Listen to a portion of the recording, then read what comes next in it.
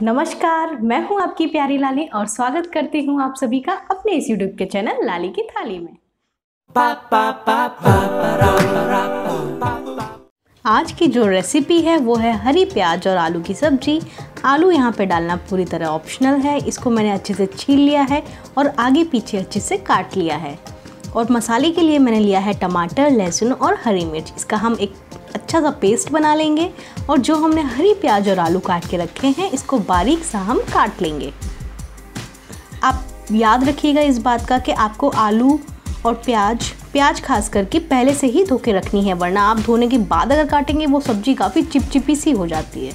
तो इस बात का आप ज़रूर ध्यान रखिए, जैसे ही हमारे आलू प्याज कट के तैयार हो जाते हैं, दूसरी तरफ़ हम कढ़ाई में डाल देते हैं तेल। तेल हमारा जैसे ही गर्म हो जाए, हम इसमें डाल देंगे जीरा।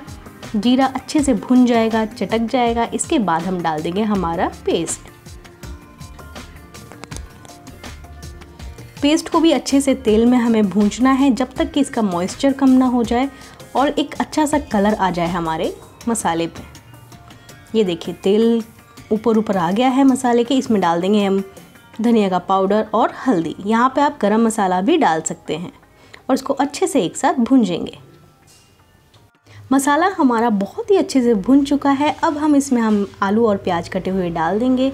अच्छे से सबको मिलाएँगे, स्वाद अनुसार नमक और थोड़ी देर तक इसको बिना पानी के ही पकाएँगे और उसके बाद पानी डाल तक आलू मुलायम होने तक इसको पकाएँगे। रस आप कम ज़्यादा अपने हिसाब से कर सकते हैं।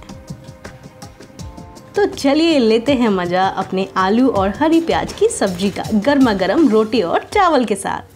अगर आपको मेरी वीडियोस पसंद आए तो उसे लाइक करिए शेयर करिए और मेरे इस यूट्यूब के चैनल लाली की थाली को सब्सक्राइब करिए।